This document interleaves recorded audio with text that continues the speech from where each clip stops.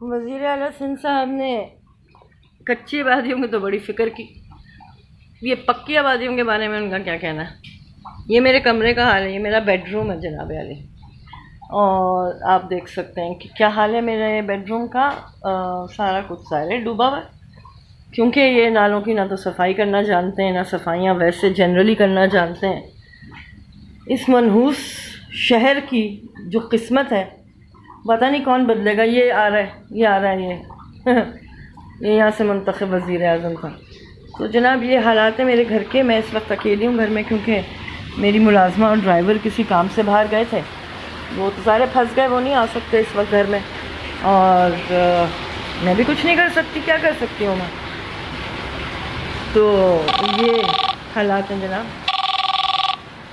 और बस क्या कहूँ?